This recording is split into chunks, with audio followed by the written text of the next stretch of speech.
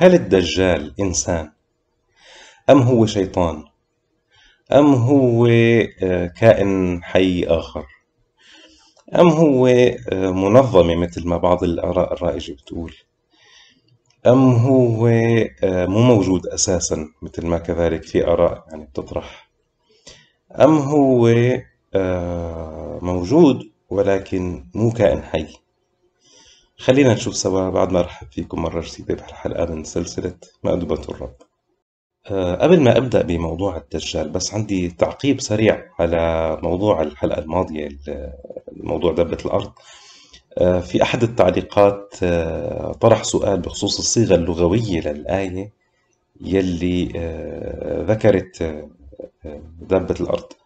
بظل يعني الفهم اللي شرحته وإذا وقع القول عليهم أخرجنا لهم دابة من الأرض تكلمهم أن الناس كانوا بآياتنا لا يوقنون. أنه كيف يستقيم السياق بقراءة أن أن الناس كانوا بآياتنا لا يوقنون؟ من غير ما ينفهم من الآية أنه الدابة هي اللي عم تكلم الناس أن أن الناس كانوا بآياتنا لا يوقنون. ف إذا إذا لغينا كلمة تكلمه صارت الآية وإذا وقع القول عليهم أخرجنا لهم دابة من الأرض أن الناس كانوا بآياتنا لا يوقنون. يعني كون لا يوقنون بآياتنا إذا وقع القول عليهم أخرجنا لهم دابة من الأرض تكلم. أه ولكن لنفترض العكس. نحن نحن بدنا نقيسها بال... بال... بطريقة معاكسة. أه طبعا يعني هن القراءتين موجودين ولكن لنفترض أنا بدي أفهم المعنى الرائج عند الناس إنه إنه الدابة هي عم تقول إنه أو تكلم الناس أن الناس كانوا بآياتنا لا يوقنون. إذا بدي أقرأها بقراءة إن يعني لا لا تستقيم الآية لغويا والعياذ بالله. آه، باللغة العربية فيني أقول قال فلان إن كذا وكذا. وهيك أنا عم أقول أو عم بروي شو قال فلان بالحرف. هو قال إن كذا وكذا. ولكن ما فيني أقول آه فلان أخبر إن كذا وكذا ولا حدث إن ولا تكلم إن آه ولا روى إن ولا أنبأ إن ولا يعني كل ال ال ال الأفعال اللي بهالمعنى بمعنى يعني الكلام أو الحديث. آه بالتالي ما في يقول أبدا إنه آه والله الدابة كلمتني إن الناس كانوا بآياتنا لا يوقنون ما بيزبط المعنى هيك. يعني يا حيكون المعنى مختلف يا أما في خطأ لغوي يعني والعياذ بالله. آه لكن فيني أقول إن الدابة كلمتني إن الناس ك... أو أو آه فيني أقول آه كلمتني الدابة إن الناس كانوا بآياتنا لا يوقنون يعني في فاصلة بين ال بين ال بين الدابة وبين إن الناس كانوا بآياتنا لا يوقنون فبالتالي مو هذا كلام الدابة بال, بال يعني بال بالمعنى المقصود من الآية. آه، عودا على موضوع الحلقة آه، الدجال لعله يمكن أكثر موضوع يعد محط جدل بين المواضيع الإسلامية المتعلقة حصرا بمجال آخر الزمن. آه لا شك في أحاديث كثير موضوعة بمسألة الدجال ولكن آه حتى آه يعني ما يصح نسبه إلى رسول الله صلى الله عليه وسلم عن الدجال يؤدي إلى حيرة شديدة ويؤدي إلى آه، آه، حد معين من آه، من من عدم الوضوح من الضبابية. في كثير أمور مبهمة بتفهم خطأ بسهولة. آه، مثلا في روايات بتقول آه، عينه كأنها عنبة طافية. في روايات تانية بتقول كأنها كوكب دري. تمام. آه، يعني يعتقد أو ينسب إنه إنه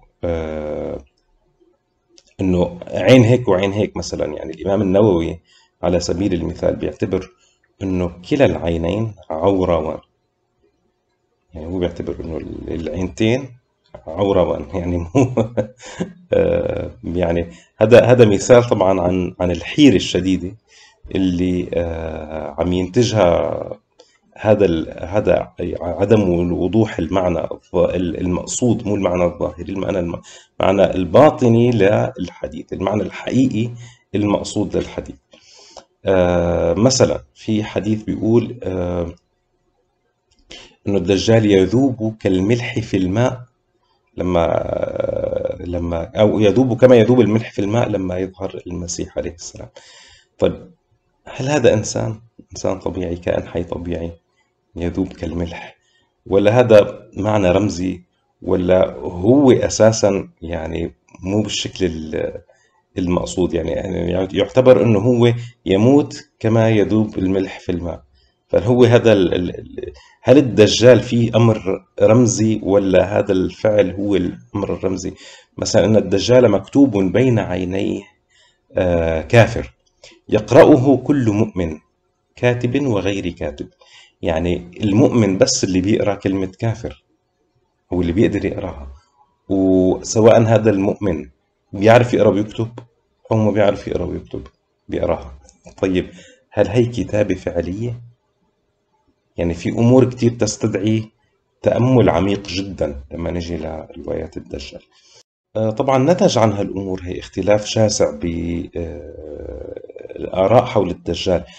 آه، ولو أنه النسبة الأعلى من العلماء والباحثين بيعتبروا أنه الدجال هو الدجال هو المفهوم السائد عند الناس. أنه هو عفوا آه، إنسان غالبا. أو شخص عموما يظهر في آخر الزمان وبالأخص الإنسان أو الكائن. يعني بنرجع رح نجي لهذا الحديث المحبوس بجزيرة آه، الجزيرة اللي اكتشفها تميم الداري يعني بحسب هذا الحديث. آه، ولكن بغض النظر عن الاختلاف النسبي بالآراء حول الدجال أكثر يعني أكثر موضوع يعني يمكن في تنوع بالآراء من حيث من حيث النوعية آه، بمجال آخر الزمان هو موضوع الدجال. يعني مثلا الدكتور عدنان إبراهيم أنكر فكرة الدجال كليا وما قدر يتقبلها واعتبرها منافية للعقل والمنطق آه، كليا.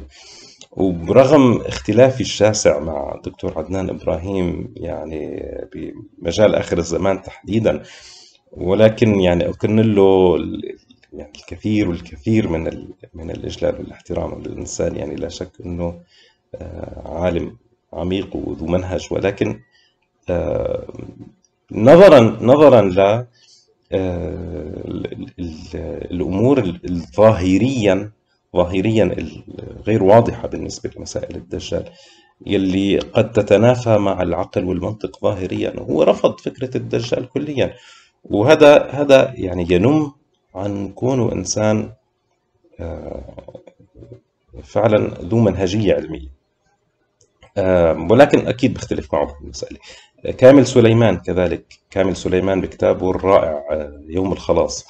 كمان أنكر فكرة الدجال جملة وتفصيلا. وكان استناده على هالموضوع يميل أكثر لموضوع الروايات الموضوعة وكثرتها بمسألة الدجال. كذلك الشيخ محمد عبده وغيرهم كتير.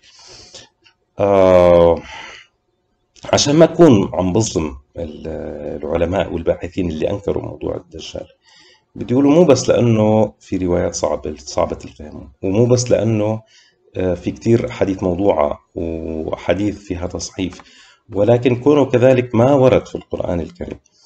آه، بالإضافة طبعا لهالنقطتين. مثلا رأي آخر بنلاقي الشيخ رشيد رضا مثلا بيقول نص كلامه ما ذكر فيها يعني روايات الدجال ما ذكر فيها من الخوارق التي تضاهي أكبر الآيات التي أيد الله بها أولي العزم من الرسل أو تفوقها تعد شبهة عليها. يعني هون يعني الشيخ رشيد رضا يعني له لفتة جدا جدا مهمة. وتدعو للتأمل هي يعني إنه الواحد إذا كان بده يشوف ومتوقع إنه يشوف خوارق عظيمة لهالدجال والمفروض منه ينكرها وما يؤمن فيها آه، كيف يتطلب منه إنه يؤمن بالآيات اللي بعث بها الأنبياء في السابق وهو سمع عنه؟ يعني وهي أقل يعني آه، عظمة لنقول من من من الخوارق اللي عند الدجال يعني نقطة يعني معه حق فيها يعني بقوة. في الإمام النووي كذلك آه، بيقول هو نفسه في دعواه مكذب لها بصورة حاله ووجود دلائل الحدوث فيه ونقص صورته وعجزه عن إزالة العور الذي في عينيه. وعن إزالة الشاهد بكفره المكتوب بين عينيه ولهذه الدلائل وغيرها لا يغتر به أو لا يغتر به إلا رعاع الناس لسد الحاجة والفاقة رغبة في سد الرمق أو تقية وخوفة وخوفا من أذاه لأن فتنته عظيمة. وهي كمان لفتة جدا جدا مهمة من الإمام النووي إنه كيف يعني هالشخص أعور؟ وعم يدعي الألوهية. والناس بدها تؤمن فيه. يعني أي عاقل مهما كانت خوارقه مهما كانت خوارقه الإنسان عم يدعي الألوهية ومو قادر يصلح التشوه اللي عنده. يعني أي إنسان عنده عقل إلا إذا رح تذهب عقولهم هي مسألة رح نحكي فيها. ولكن أي إنسان عقله معه شو ما كانت الخوارق اللي راح يشوفها إذا كانت فعلا هذا المقصود منها. يعني راح راح يكون عنده آه إشارة استفهام ما لها جواب. إنه آه، شو هالألوهية اللي ما قادرة تصلح التشوه اللي أو هالعور يعني اللي اللي بعينه. آه، فبالتالي إذا بده يكون في له أتباع بده يكون أتباع يعني بهالمنطق هذا. إذا بده يكون في له أتباع بده يكونوا أتباعه آه، مو لإيمان فيه ومو آه، تصديقا فيه ولكن آه، لمصالحهم يعني سواء كانت خوف أو طمع. فهاي اللفتة اللي كان يعني عم عم يحكي فيها الإمام النووي. في رأي كمان غير هال هالآراء. هي بتحكي إنه الدجال هو السامري ولكن حقيقة يعني بغض النظر عن كون ما في دليل على الكلام غير إنه موسى عليه السلام قال وإن لك موعدا لن تخلفه. وفسروا هالشيء إنه هو الدجال وهو راح يظهر بآخر الزمان اللي هو السامري يعني. آه، ولكن بغض النظر عن كونه ما في دليل يعني هذا مو دليل ولكن ما في دليل على على كون السامري هو الدجال. ولكن لنفترض إنه السامري هو الدجال. هذا فعليا ما حللنا الإشكالية لأنه السامري نفسه مختلف حول شخصه. يعني مو معروف هو إنسان يعني في آراء مختلفة حوله هل هو إنسان هل هو شيطان؟ في في آراء تحكي هو إبليس نفسه. يعني كذلك شخصيته أساسا مبهمة جدا فهذا ما بيجاوب على التساؤلات قال الإمام الحسين إن النبي صلى الله عليه وآله وسلم خبأ لابن صائد دخانا فسأله عما خبأ له فقال دخ. فقال اخسأ فلن تعدو قدرك. فلما ولى قال النبي صلى الله عليه وآله وسلم ما قال؟ فقال بعضهم دخ وقال بعضهم بل قال زخ. فقال النبي صلى الله عليه وآله وسلم قد اختلفتم وأنا بين أظهركم فأنتم بعدي أشد اختلافا. بنلاحظ من هالحديث انه الرسول الأكرم صلى الله عليه وسلم رغم معرفته المسبقة إنه رح يكون آه، موضوع موضوع بن صائد اللي رح نرجع له بالتفصيل يعني. آه، رح يكون موضع جدل بين الصحابة وموضع خلاف آه، وموضوع الدجال عموما رح يكون موضع جدل وموضع خلاف حتى عند الأمة إلا إنه صلى الله عليه وسلم ما حسم لهم الموقف؟ ما قال لهم هو مو هو؟ آه، حتى اختلافهم على على الكلمة اللي اللي قالها آه، كانت ردة فعل الرسول صلى الله عليه وسلم إنه أنتم هلأ مختلفين وأنا معكم وراح يكون اختلافكم أكبر آه، من بعدي. يعني وما ما شرح لهم أكثر من هيك يعني.